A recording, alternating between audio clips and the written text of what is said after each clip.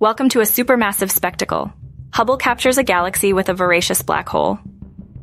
The Hubble Space Telescope has captured a stunning image of the galaxy NGC 4951, located in the Virgo constellation, roughly 50 million light years away from Earth. This galaxy is classified as a Seyfert galaxy, an extremely energetic type with a visible galactic nucleus.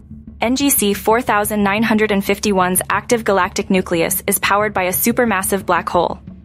As matter spirals into the black hole, it generates radiation across the entire electromagnetic spectrum, causing the AGN to shine brightly.